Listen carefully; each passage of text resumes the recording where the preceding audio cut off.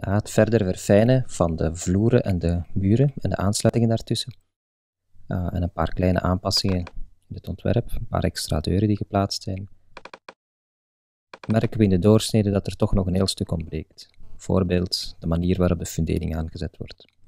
We gaan in dit voorbeeld een eenvoudige fundering maken die ongeveer aanzet op centimeter, 90 centimeter diep.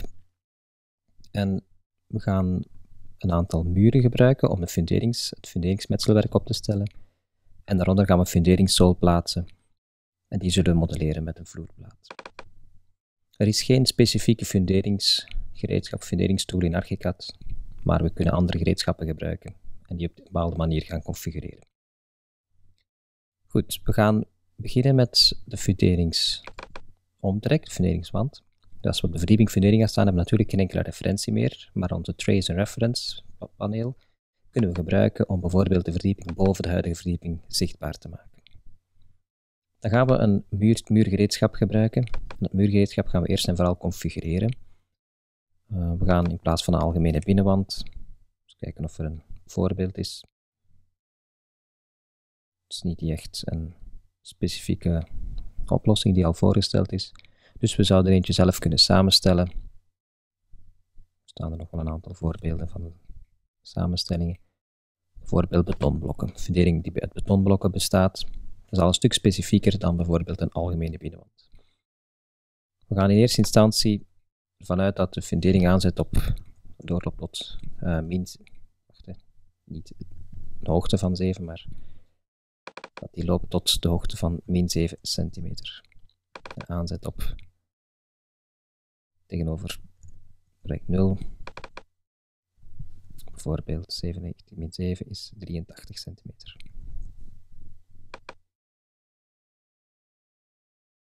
De breedte van de fundering zullen we hier op uh, 30 centimeter pakken.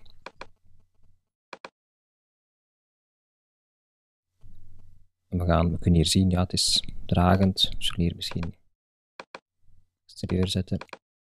En de term wand, we zullen kunnen hier in de, de ID fundering plaatsen.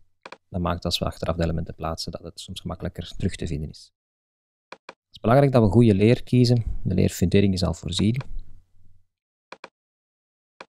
En bij de modelleereigenschappen binnenwand zullen we hier bijvoorbeeld uh, steen in beton. Ik denk niet dat er andere specifiek voor voorzien zijn. We zullen gewoon een soort betonnen materiaal nemen als bekleding. Zodat het er in 3D ook correct uitziet. Goed. Het feit dat we die andere muur als onderlegger hebben gebruikt, maakt dat we vrij gemakkelijk kunnen modelleren. Um, we zullen al beginnen met de Magic Wand, de omtrek overnemen. We zullen zien dat we hier de binnenkant aanduiden. We gaan opnieuw de Magic Wand selecteren. Goed. Wat we gemerkt hebben, als we ze nu allemaal groeperen, dat ze net in de verkeerde richting georiënteerd zijn, maar dat kunnen we nadat we ze geselecteerd hebben de richting omdraaien. Dus ze zijn tegenover de bestaande muren uitgelijnd aan de binnenkant. Maar we weten dat de muren op de gelijkvloers iets breder waren, die waren 34 centimeter, dus op die manier krijgen we een kleine verspringing, wat helemaal niet zo vreemd is. Ze zijn gegroepeerd. We gaan het effect van de groeperen even afzetten, zodat we de elementen individueel kunnen selecteren. En we gaan onze fundering op een iets andere manier doortrekken, zodat bijvoorbeeld bepaalde wanden ook kunnen aanzetten op de funderingszool. Bijvoorbeeld als we hier die wanden willen verbinden, om nadien de fundering verder aan te sluiten, zouden we dat kunnen doen met het uh, gereedschap. Een intersect gereedschap, een beetje vergelijkbaar met uh, een fillet zonder straling in een kat tekenpakket, die verbindt twee elementen in een rechte hoek. En we kunnen hetzelfde doen met de wand die daar staat. Verding laten doorlopen. We kunnen nadien nog zien of, het, of er nog correcties moeten aangebracht worden. We gaan hier ergens ook een extra funderingswand plaatsen. We nemen de Alt-knop, of Pick-up Parameters, een van de twee. We nemen de eigenschappen over van die wand. We tekenen een extra funderingswand onder die, deze muur. We lijnen die uit aan deze zijde omdat we nadien de trap door gaan maken. Nu, dat is een werkelijke dus die moet misschien geen 30 centimeter zijn, dat is misschien voldoende dat hij maar 20 centimeter is. Goed, ondanks het feit dat we al die funderingsmuren hier geplaatst hebben en we een bepaalde samenstelling gekozen hebben, zien we in grondplan toch niet die doorsnede. Nu, dat komt omdat Archicad in de manier waarop de elementen worden weergegeven rekening houdt met een cutplane, een soort snedevlak. En de definitie van een grondplan is dat men het gebouw snijdt op ooghoogte. Nu, als we gaan kijken naar een muur die maar 90 centimeter hoog is, die zien we in bovenaanzicht. We kunnen in de weergave kiezen om dat snijvlak lager te plaatsen, om dat bijvoorbeeld op een hoogte van 50 centimeter te plaatsen. En dan zie je dat je effectief door heel die funderingswand snijdt. Nu, dat is maar een tijdelijke instelling. We kunnen nadien zien hoe we in de documenten altijd naar diezelfde instelling gaan, gaan, gaan refereren. Dus de floorplan cutplane, we gaan die terug op 150 plaatsen. En we gaan nadien bij de layout zien dat we één specifiek zicht maken dat daaraan voldoet. Nu als we gaan kijken in de doorsnede, bijvoorbeeld doorsnede AA, zien we dat de funderingswand hier ongeveer aanzet. We gaan ons hier vooral beperken tot soort principiële aansluiting. We zouden kunnen zeggen dat de, deze funderingswanden de hoogte aangepast wordt om hierop aan te sluiten. Hetzelfde voor deze. Nu, dat zou kunnen dat we straks merken dat het niet helemaal klopt. Dat is niet zo belangrijk. Deze kunnen we ook terug aanpassen. Onder de vloer aanzet. Dus we maken en doen een aantal correcties in de doorsnede.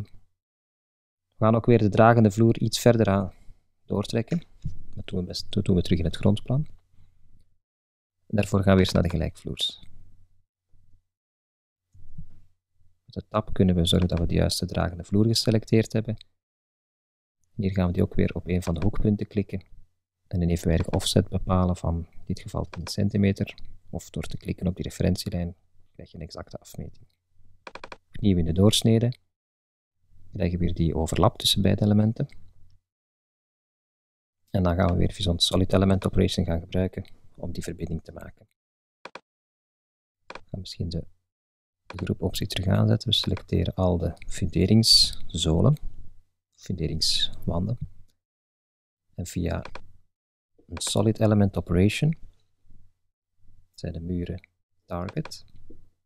De draagvloer wordt de operator.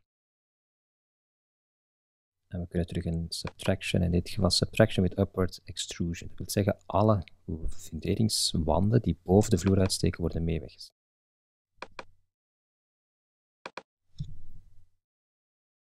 We kunnen terug in grondplan gaan kijken en we misschien om de doorsnede wat duidelijker te maken, gaan we eens terug gebruik maken van zo'n marquee. De verdieping van de fundering, dat enkel de huidige verdieping getoond wordt. We selecteren hier een zone. F4-toets. Fundering te tonen. Hier ongeveer hoe de fundering alleen hangt. We zien hier dat nog niet de volledige fundering perfect doorloopt. Maar dan kunnen we nadien stap voor stap verder gaan verfijnen. We gaan ons vooral concentreren op de plaatsen waar we effectief in de doorsnede of in bepaalde zichten zien dat er iets, iets nog moet, moet gecorrigeerd worden.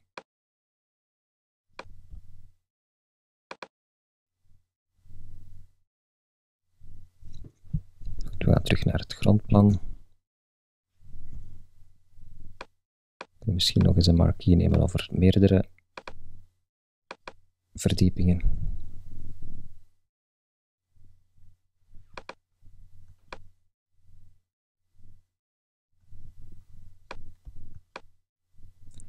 Merkt dat die marquee niet alleen een, een hulpmiddel is bij de weergave, maar effectief ook helpt bij het inspecteren van heel het model dat je gemaakt hebt. Dat je elementen kan selecteren, kan zien waar ieder object staat. Kan elementen ook individueel gaan, gaan bekijken.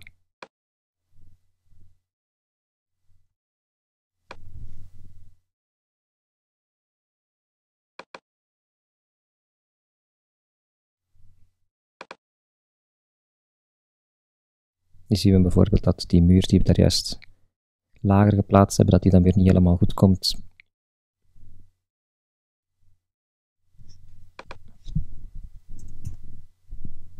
Dit toch op 7 had moeten staan. Maar we zien die operatie blijft behouden, dus die uitsparing blijft, blijft gelden.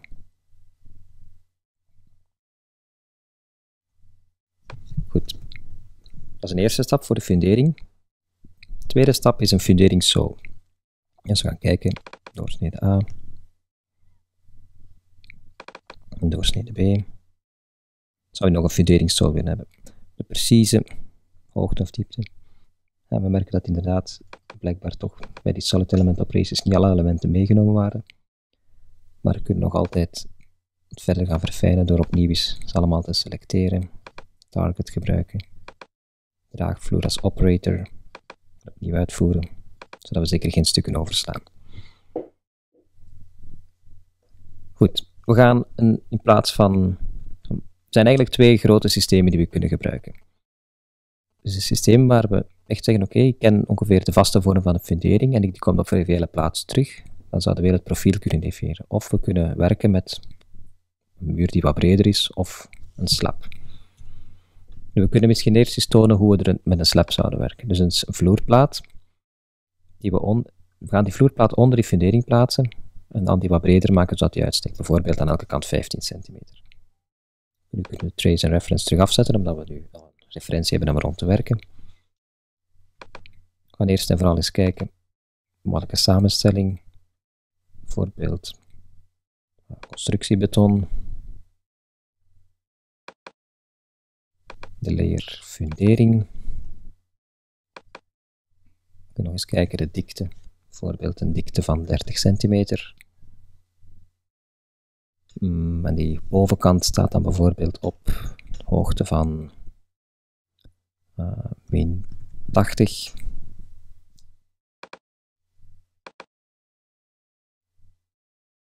Wel, we moeten opletten als we tegenover de... We zijn aan het kijken tegenover de huidige story. Dus tegenover de nulpijl van het project min 80. Dat zal beter zijn. Het materiaal zou dan bijvoorbeeld ook steen en beton kunnen zijn voor het 3D-model. Tags en categories. Zeker en vast load bearing. Exterior.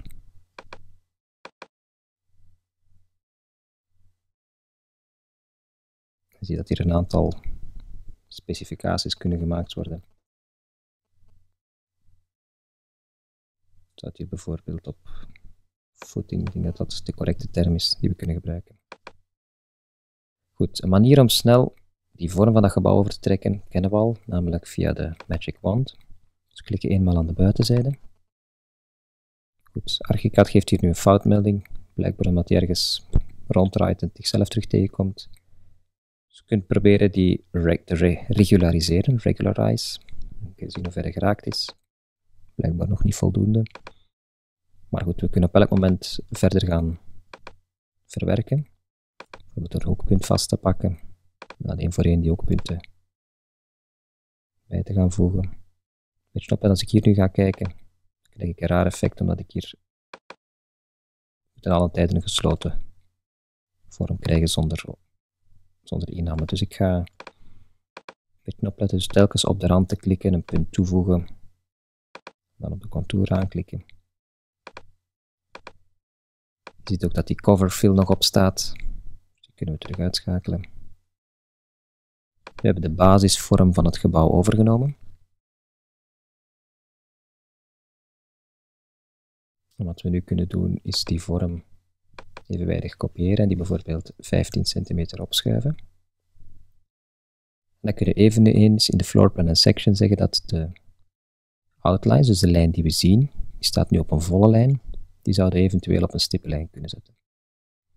Er een aantal al voorgedefinieerd in de template. Welke dat precies is, ben je nu nog niet direct wakker van, dat zien we wel als we printen. Maar ik geef die een om aan te geven dat, eigenlijk, ja, dat het element toch niet op een niet andere manier getoond wordt. Gewoon om visueel het verschil te maken van dit zou de funderingszool zijn. Nu moeten we nog een aantal uitsparingen maken. En dat kunnen we op dezelfde manier doen. Eh, bijvoorbeeld door de vloerplaten te selecteren. opnieuw het vloerplaatgereedschap actief te maken. En dan met de Magic Wand een nieuwe binnencontour tekenen. Geeft opnieuw die foutmelding van die regularisering. Blijkbaar heeft het te maken met dat hier en daar die verbindingslijnen niet helemaal teruggevonden worden. Het is om eerste stap eigenlijk redelijk goed te krijgen. We kunnen ook werken met de zogezegde uh, Booleaanse operatoren voor, voor de polygonen, bijvoorbeeld subtract of dus subtract from polygon, en dan bijvoorbeeld gewoon rechthoek aanduiden. Dan nog eens subtract from polygon, dan kunnen we misschien spatie indrukken. Eens proberen of het lukt. Deze was niet zo goed gelukt, dan zullen we het manueel doen. Subtract from polygon. We gaan het als, echt als polygoon tekenen en duiden we een paar hoekpunten aan. Opletten dat het potloodje altijd zwart ingekleurd is, wil zeggen dat hij het hoekpunt exact vindt.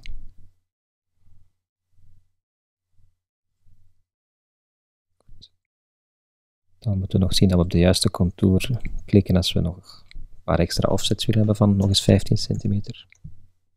Bijvoorbeeld door op dat hoekpunt te klikken, offset of distance 15. Hier opnieuw.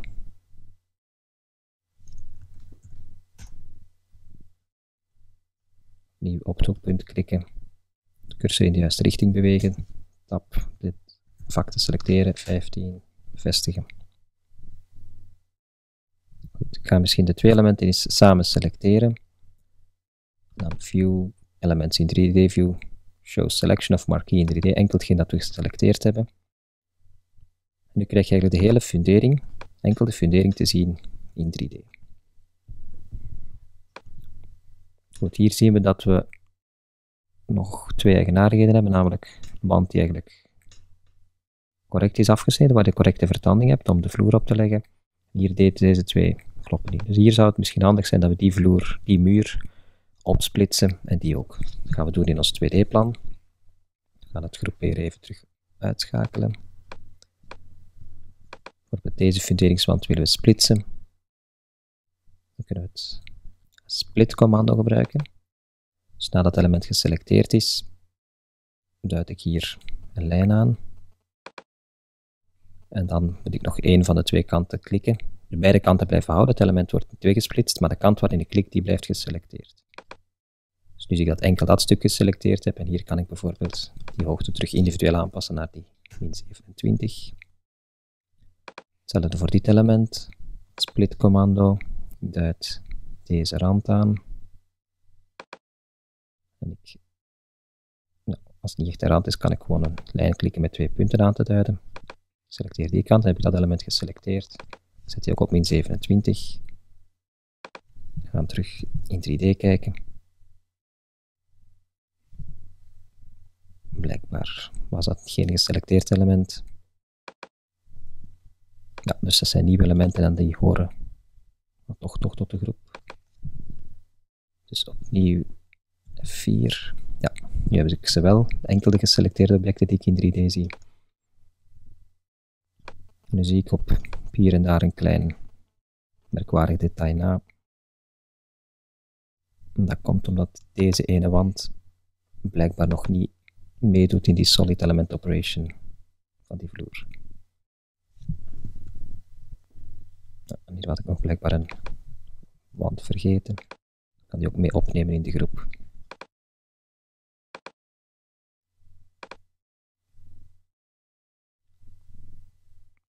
Goed, om dat goed te zien, om deze doorsnede goed te zien, is het misschien gemakkelijk om hier weer een marquee te selecteren. Die dan over, wel over meerdere verdiepingen gaat. 4. Ja, dan gaan we terug beter zien. Dus deze. Ik ga de groep terug moeten afzetten. Selecteer deze muur.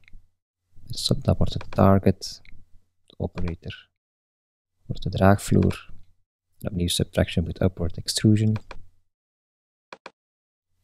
Goed. Escape om de marquee weg te halen. We gaan onze groep terug aanzetten. Selecteer de funderingszolen en de funderingswanden. 4. Dan gaan we eens controleren dat onze fundering er correct uitziet.